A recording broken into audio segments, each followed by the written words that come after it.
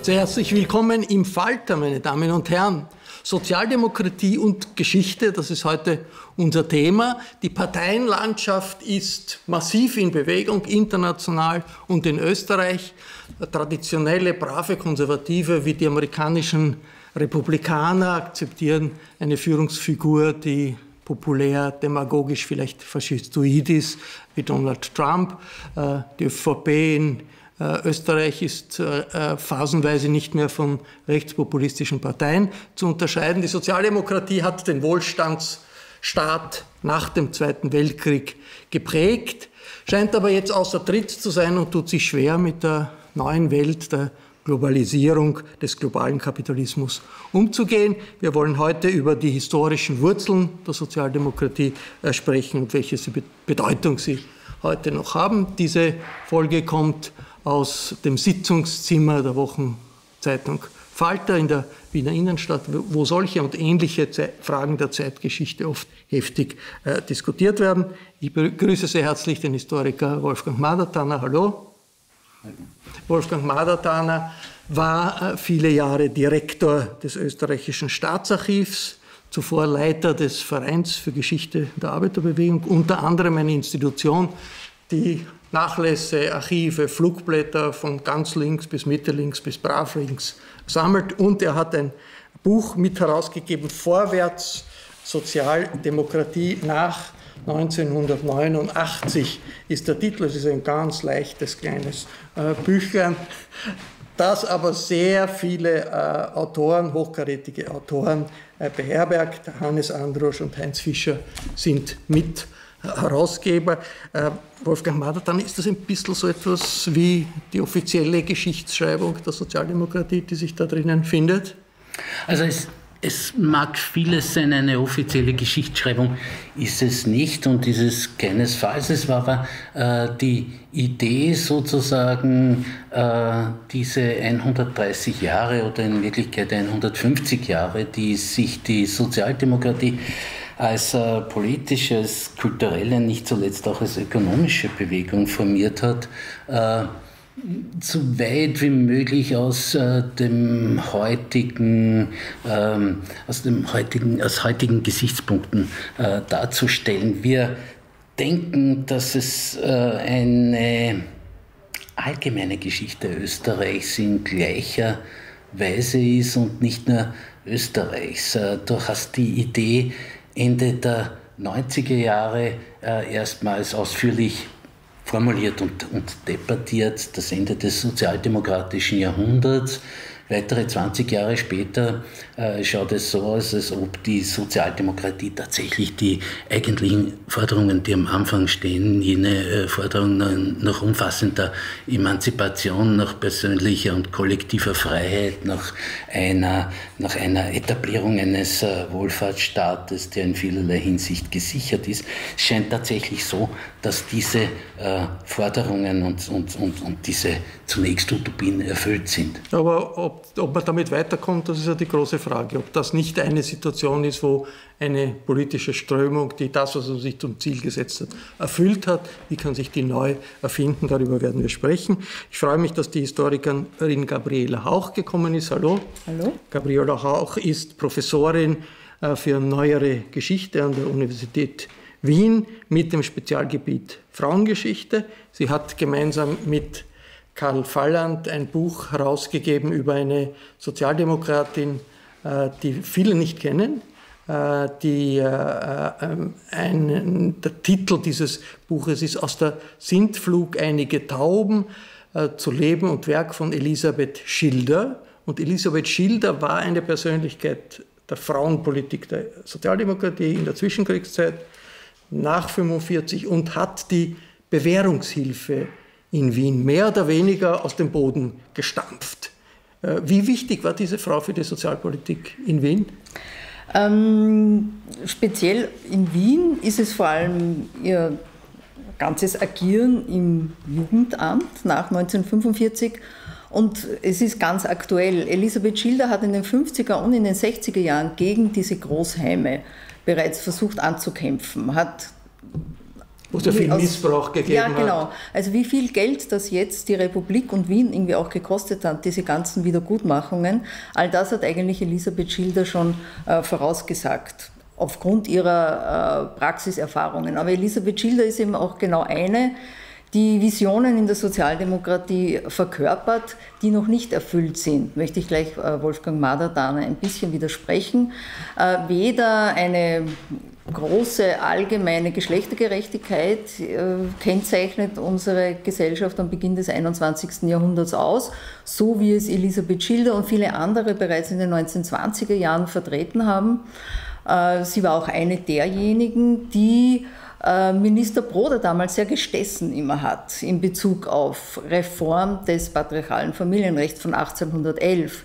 Wir dürfen ja nicht vergessen, dass bis 1975 zur großen Familienrechtsreform immer noch der Mann als Haupt der Familie der, im Gesetz gestanden der ist. Oder hat da sozusagen jemand gebraucht, der ihm im Knack ja, sitzt ja, und gesagt ja, hat, machen wir genau. was, machen wir was, machen wir was. Das war genau Elisabeth Schilder. Das war Elisabeth Schilder und äh, Wegbegleiterinnen und Wegbegleiter von Broder wie von Schilder haben uns bei den vielen Interviews, die wir geführt haben, auch äh, bestätigt, sie war quasi das linke Gewissen von Broda. Ja.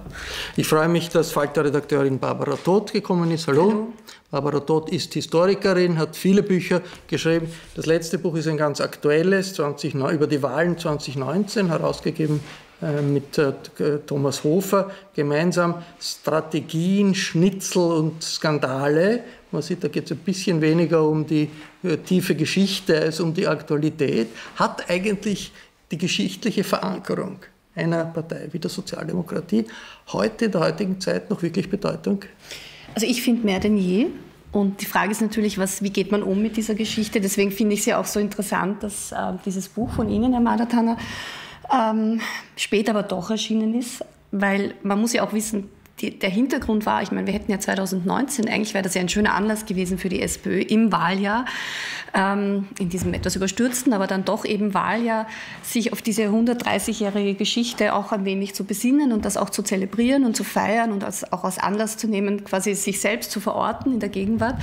Ähm, nur da gab es ja nicht wirklich viel an Veranstaltungen und an, ähm, ja, an, an, Bewusstsein dafür. Und dieses Buch ist ja quasi ein, eine späte, ein spätes Bekenntnis zu dieser großen Geschichte, was, finde ich, zeigt den problematischen Umgang, den es auch innerhalb der SPÖ mit der eigenen Geschichte gibt, beziehungsweise die, die geringe Wertschätzung, die eigentlich Geschichte derzeit überhaupt in, in politischem Kontext hat. Also da, da geht, könnte man schon mehr Rücksicht nehmen. Gabriele, auch äh, die Sozialdemokratie ist immer traditionell, war die Partei der großen Linken, äh, die große Partei der Linken in Österreich.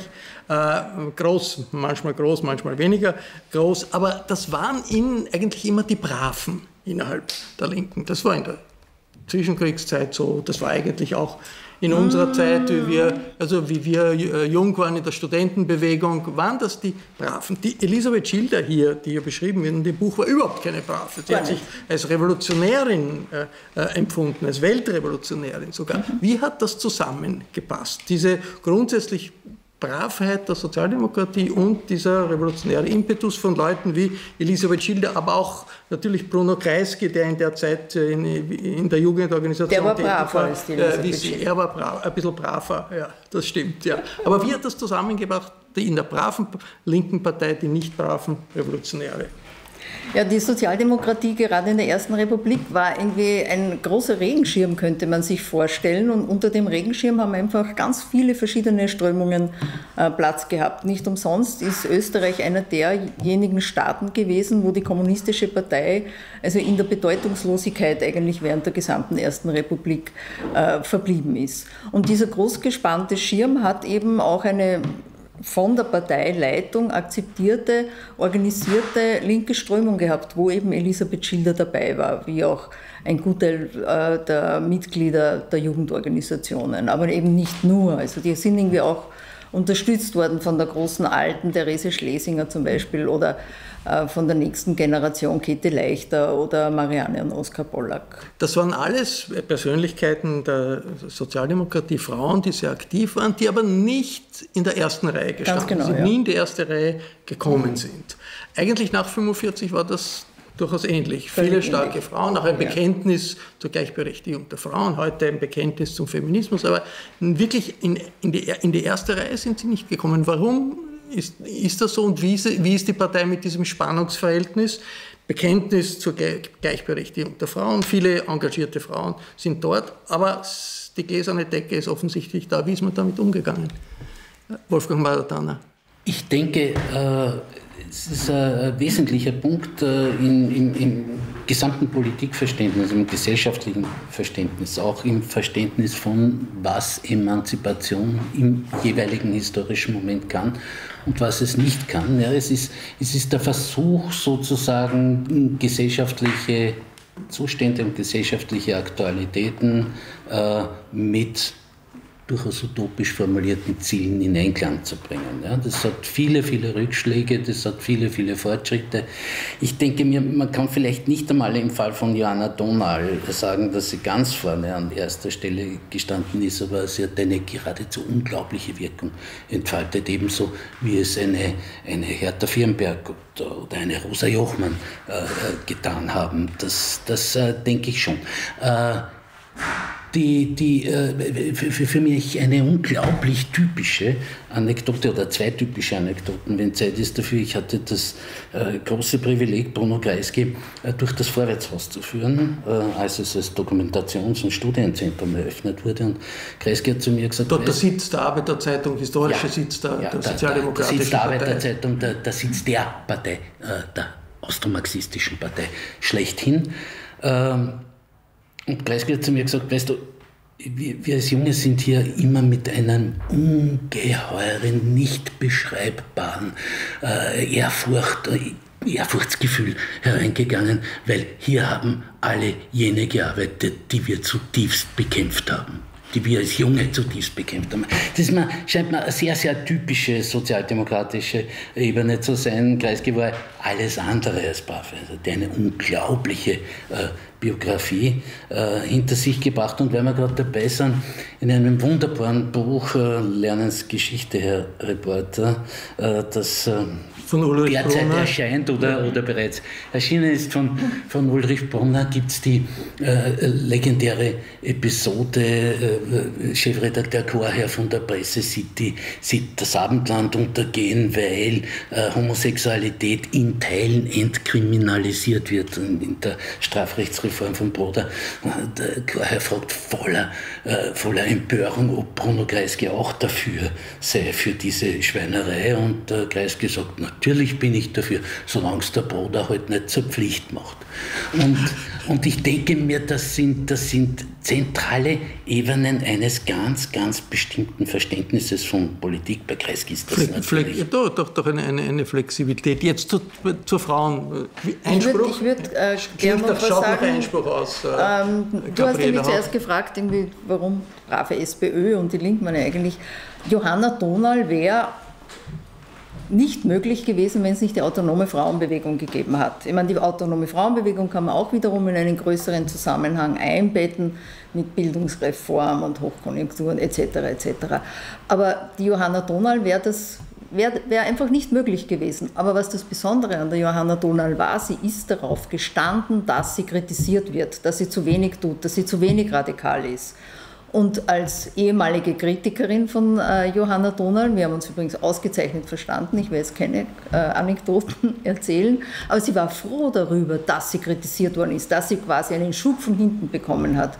Und das ist große, der große Unterschied zu den ganzen Politiken, auch der Sozialdemokratie in den letzten, sage sag ich einmal, 15, 20 Jahre. Man ist als Kritiker oder als Kritikerin nicht mehr gelobt worden, man ist nicht mehr bedankt worden. Aber historisch war die Kritik. Historisch war das durch diese Flexibilität der Sozialdemokratie, genau. der österreichischen Sozialdemokratie war größer als die Flexibilität äh, in anderen sozialdemokratischen Parteien, wo man Linke eher ausgegrenzt hat, während man in Österreich versucht hat, sie irgendwie zu integrieren. In der Frauenpolitik weiß ich nicht. Ist da wirklich größere Flexibilität als woanders äh, vorhanden? Also wenn man sich heute anschaut, die Schwierigkeiten, die die Parteivorsitzende hat, Pamela Rendi-Wagner, sind ja eigentlich immens. Die sind nicht nur aufgrund von möglichen politischen äh, Defiziten, die, die, die, die es gibt bei ihr äh, möglicherweise, sondern auch deshalb, weil sie halt sich mit einer Macho-Kultur äh, in der Partei, die scheint äh, nicht wirklich sich verändert äh, zu haben, konfrontiert ist. Wie, wie, wie, wie sehen Sie das,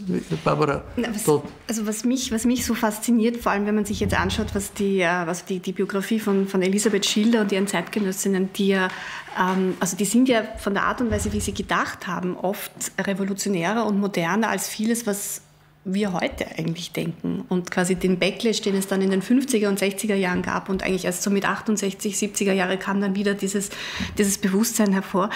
Ähm, also Pamela Rendi-Wagner ähm, ist, ist einmal mehr wieder eine, eine Eisbrecherin, die, wo man das Gefühl hat, die muss eigentlich von vorne anfangen. Also obwohl sie auf so vielen Traditionen und auf so vielen tollen Frauenbiografien innerhalb der sozialdemokratischen Bewegung aufbauen könnte, nur die werden eben nicht so gehegt und gepflegt und in die Auslage gestellt, von Frau Donal abgesehen, ähm, wie es vielleicht sein sollte. Und ich glaube, der Kulturwandel, also wenn das mit, dem, mit der Geschwindigkeit weitergeht äh, oder auch momentan eben stockt, wird das wahrscheinlich noch einmal 20, 30 Jahre brauchen.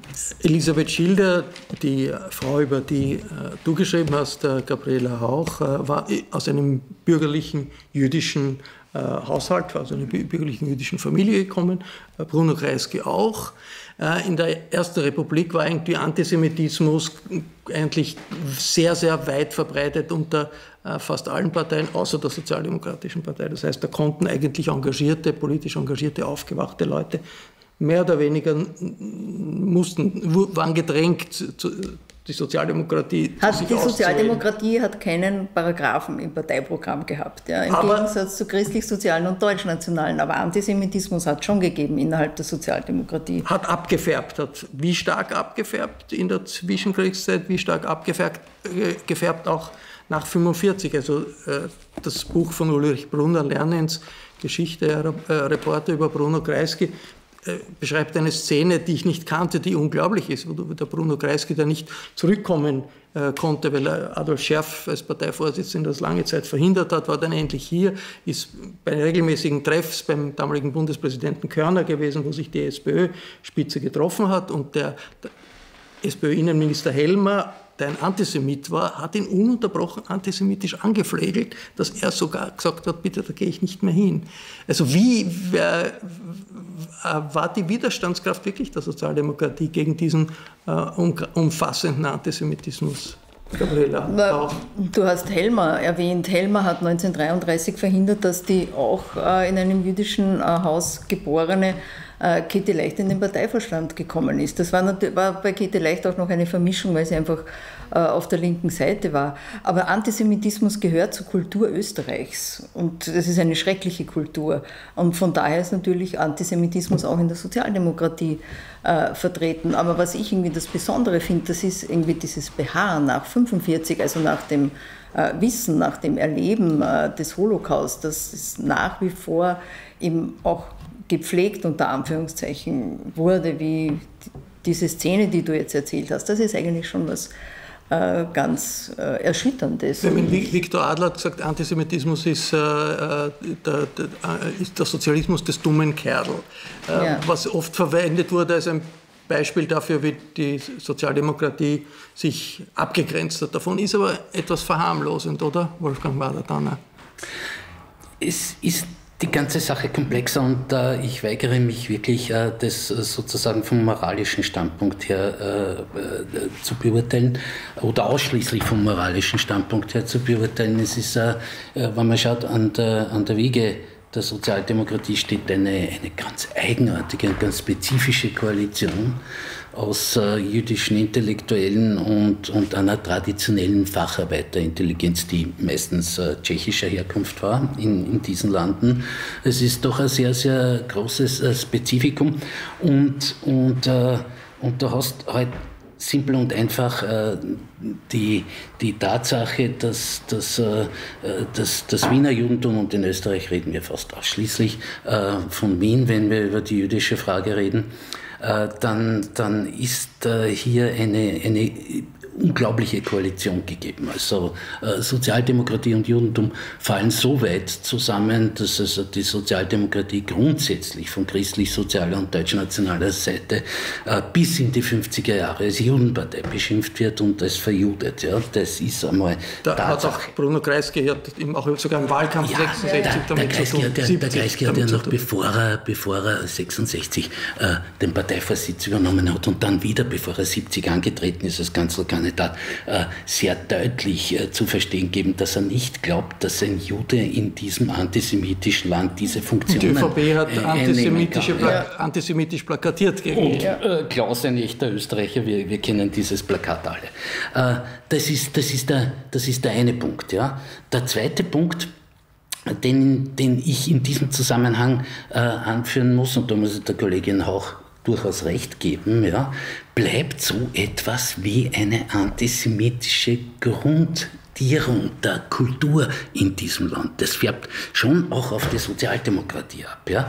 Aber äh, wie gesagt, als junger Student habe ich mir Karl Marx, äh, eine, eine Legende in, in Döbling als Parteisekretär, als Parteiintellektueller etc. gefragt, wie gibt es das eigentlich, dass noch vor dem Karl Marx-Hof Döbling ein roter Bezirk ist? Und Karl Marx hat gesagt, na, ganz einfach die jüdischen Villenbesitzer.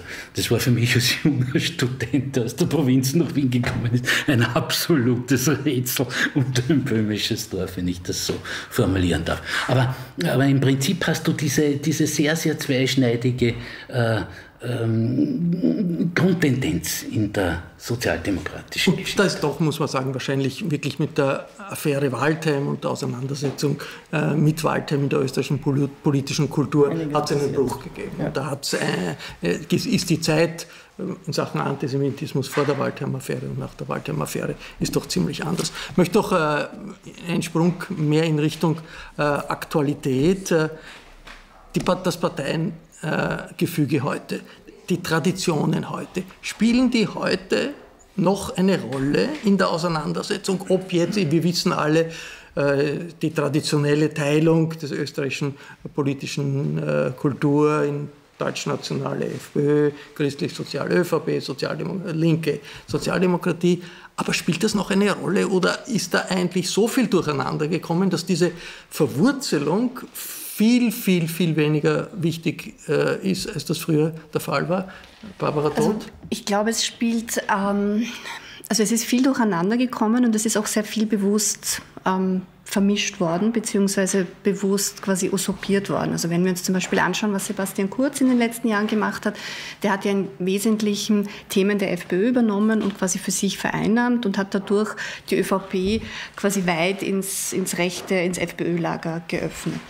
Ähm, das, was jetzt auch innerhalb der SPÖ immer wieder diskutiert wird, Stichwort äh, DOSCO-Ziel, also die Frage, kann man nicht quasi auch mit so einem eher nationalen, populistischen Kurs äh, die, die SPÖ wieder zum Erfolg zurückführen, zeigt auch quasi, wie, wie flexibel man eigentlich mittlerweile ist, wenn es darum geht, quasi am Wählermarkt sich, sich neu zu positionieren. Ich glaube deswegen, dass so diese alten Links-Rechts-Schemata und diese ganz klassischen ähm, Kategorien, die wir noch aus der Zweiten Republik heraus kennen, dass die ähm, nicht mehr so so, äh, nicht mehr so griffig sind. Was ich aber spannend finde, und deswegen finde ich den Blick in die Geschichte für die Sozialdemokratie auch so interessant, ist sozusagen der Zugang und jetzt neumodisch formuliert ähm, das Mindset, das so Person, Persönlichkeiten wie zum Beispiel eine Elisabeth Schilder hatten. Also die Art und Weise, wie man auf die Gesellschaft blickt, ähm, wo man nach quasi auf die Schwachen blickt, auf die, auf die Brüche, auf die Kontinuitäten, also dieser extrem wache Blick auf eine Gesellschaft und aus der heraus sozusagen politische Programmatik entwickeln. Also ich finde, das ist etwas, was zeitlos ist. Und da würde ich jetzt ehrlich gesagt als Sozialdemokratie auch eher ansetzen, wenn ich mich heute frage, wo, wo gehöre ich, also wo, wo, wo, ist mein Klientel und welche Antworten kann ich geben? Äh, Gabriele Hauch, kann es nicht sein, dass äh, die, das, historische Bewusstsein oder die, die, Vorstellung, wir sind eine historische Partei. Also das heißt eigentlich, uns wird es immer geben. Ja? Mhm. Dass das nicht und wir auch, sind immer stark. Und wir sind immer stark. Dass das nicht auch in Wirklichkeit ein Hindernis ist, um mit der neuen, modernen Welt, äh, der globalisierten Welt des 21. Jahrhunderts umzugehen. Nein, das glaube ich, ich glaube, ähm, der Blick zurück in die Geschichte oder in Geschichtsbewusstsein kann nie verhindern, etwas verhindern, sondern äh, der Blick zurück glaube ich, macht die Zukunft, macht, macht sensibler und offener und auch erleichtert differenzierteres Denken, um diese komplexer werdende Welt zu erfassen. Also ähm, verhindert nicht, was ähm, vielleicht dem ähm, Recht gibt, dass du äh, an, der, an, welche These du aufgestellt hast, ähm, dass es vielleicht eine gewisse Saturiertheit gibt von äh, Funktionärsschichten, sage ich jetzt mal, die an an der Macht sind, ist jetzt zu groß gesagt, ja, aber die irgendwie bequeme Positionen haben, die sich nicht, die, die nicht fragen müssen, ähm, wie ist die Zukunft, weil meine eigene Position gefährdet ist. Das glaube ich eher. Und es ist saturiert und vielleicht auch ergänzend, also diese typische Frage, die man ja seit Jahren immer wieder in der SPÖ hört, wie kriegen wir die Arbeiterschaft zurück, die uns an die FPÖ verloren gegangen ist. Ne? Um dieses Thema kreisen ja sehr, sehr viele auch SPÖ-interne Debatten. Und ich finde, da könnte man schon mal hinterfragen, welche Arbeiterschaft, wie schaut die heute eigentlich aus? Ist das noch die gleiche wie vor 25 Jahren, als Jörg Haider sie der SPÖ quasi weggeschnappt hat? Mhm. Oder ist es vielleicht überhaupt die falsche Frage? Ja, genau. Und da zum Beispiel äh, Elisabeth Schilder, um das wieder anzuknüpfen, die Schutzbedürftigen waren im Zentrum ihres Denkens. Sie war der Meinung, eine Gesellschaft ist daran zu messen, wie sie mit den Schwachen umgeht. Das wie waren die Straffälligen. Wie stark ist es in der SPÖ Wer heute sind heute noch? die Schwachen in der Gesellschaft? Wolfgang Madertaner, wie stark ist das noch heute? Ganz kurz die historische Dimension sozusagen, die uns denken lässt, wir sind eine, wir sind eine große, große emanzipative Bewegung, die es immer geben wird. Man darf nicht vergessen, äh, die Sozialdemokratie hat es über österreichische, über einen Zeitraum von elf Jahren einmal überhaupt nicht gegeben. das war die Illegalität äh, in, in, in, in den Jahren des, des Faschismus, zuerst der christliche und später der deutsche.